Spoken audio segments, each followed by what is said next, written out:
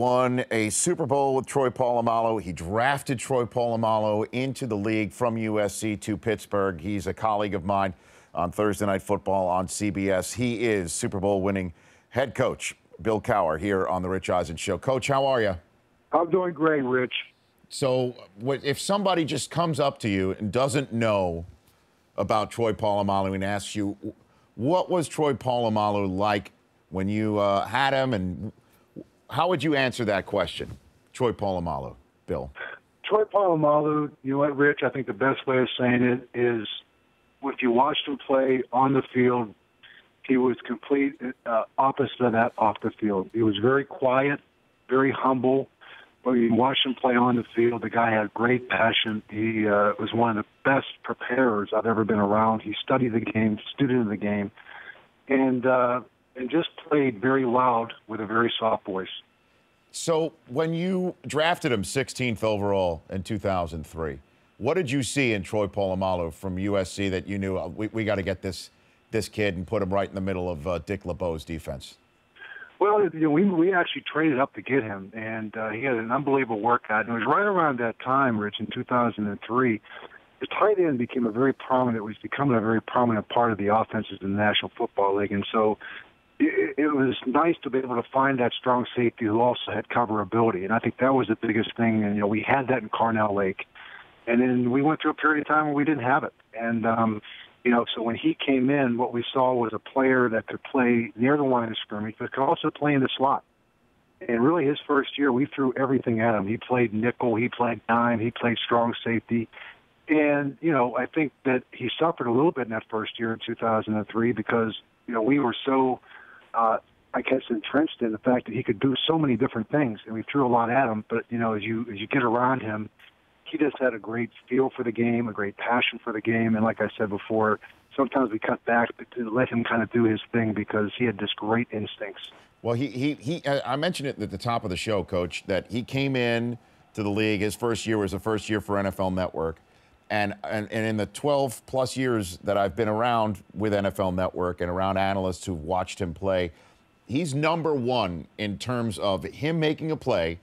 And one of the analysts who we work with on Thursday night, whether it's Marshall or Irvin, turns to me and they laugh, saying he had no business being there no. making that play. And no. he was he's just a freelancer and he's always at the spot where he needs to be, even though that's what wasn't called. When did you realize he had that ability? Well, I mean, I think the more you around them, and, and, and I always, and the reason why we didn't really curtail it because you go in the office in the morning, he's already been in there for an hour. He had Rod Woodson type abilities. I mean, I remember two people I always remember walking into the building in the morning at seven or seven thirty, and they were already in the film room by themselves taking notes. That was Rod Woodson and Troy Polamalu. These guys studied the game, and then when you take players like that, and then you put an ability with them, you know, you you don't want to curtail that. And and if he did something, he had a reason. I will tell you a story. He was playing against Carson Palmer. It was a roommate of his in college at USC, mm-hmm. and we had called cover two, which is a two deep safety. He moved up to the line of scrimmage, which he was known to do, which was to disguise. He moved up the line of scrimmage, and we're thinking, okay, Troy's going to at some point get out of there. He didn't get out of there. Dick and I are on the sideline going, get back, get back he's waving us off saying, shut up, shut up. and he, the ball was snapped. Carson thought it was a 3D defense, throws the ball in the flat. Troy goes out there and makes the play in the flat, comes off the field, and all of a sudden we go, Troy, that was cover two. He goes, I know. I told Ike, the corner, you play half the field. I'll take the flat, but we'll be an eight man in the box because that way we can confuse the quarterback. I said, that's great. Will you tell us the next time you do that, though? Because we're on the side. I said you need to tell us before you start doing these things.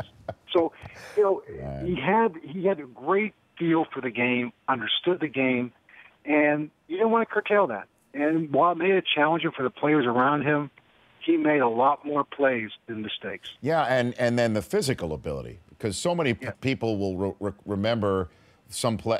If, if you ask somebody like, what's the play you remember of Troy Polamalu, they will recall the, the number of times that he knew the snap count or figured out the snap count and literally jumped over the person making the snap as the snap is made on the line of scrimmage. Just remarkable feats of athletic ability, coach.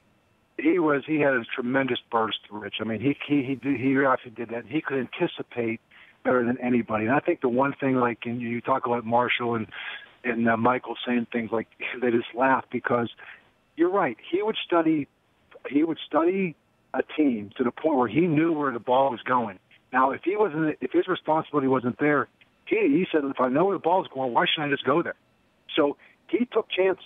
Now it got burned at times. I know. Remember one time Tom Brady they they motioned and got him to the middle of the field because we were uh, we were inverting the safeties, and and uh, Tom Brady he he pump faked a dig, and right behind him was a post for and uh, went right over Troy's head. So, you know, you know his you know his ability and at times his his risk in taking chances kind of got him in trouble. But like I said before, the one thing I'll say about him, if you want to talk about Hall of Fame or not, the one thing if you ask any opponent that was playing against the Pittsburgh Steelers during the time that he was there, is any quarterback, Tom Brady, Peyton Manning, all the great ones, find 43.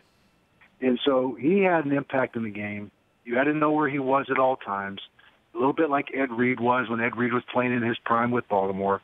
So these players, when they were on the field, they had a tremendous impact in the game, and they really made a lot of the players around them better. And of course, it was easy to find him with that hair, coach. Right? yes, yeah, he, he did have a distinct ability. Yeah, you know, and uh, but before I let you go, I would be remiss if I didn't ask you about him as the person, the human being, the humanitarian, the uh, the the husband, the religious figure that he is. Uh, and and if you can just have the floor, the best story you could tell about who he is as an individual, not a football player. You know, we interviewed him in Indianapolis in, at the combine um, when he was coming out, and he walked out of the door, and I just remember looking at Kevin. I'm going, "That's the guy we just saw on tape." He is the most soft-spoken. You have to get close to him to hear him. He doesn't say many words um, very religious, um, and a really good family guy. You know, and, and I'll say it before, he's got great respect for the game. Um, he embraced the Steeler tradition when he came there. Um, you know, if I could say anything, I would just say is, you know, any players coming into the National Football League, if you watch the way he prepared, you watch the way he played, and watch the way he handled himself as a professional, that is a lesson that they should take and they should use as a blueprint for how you play in the National Football League and how you lead yourself and the, and the people that he's inspired and touched along the way. And he's, a first he's a first ballot Hall of Famer, correct, Coach? No doubt about it. Because, like I said to me, you talk about Bruce Smith, you talk about um, uh, White, Reggie White, you talk about Ed Reed. I mean, these, these are guys that impacted the game. You game planned around them. And so, you know, when people have that kind of impact in the game, to me, they're first out guys. Coach, thanks for the time. Appreciate it. Miss hanging with you. I look forward to more time. Uh, looking forward to seeing you in the fall, Rich. You bet. That's Bill Cowher, CBS Sports, Super Bowl champion, head coach. The Rich Eisen Show, weekdays at noon Eastern.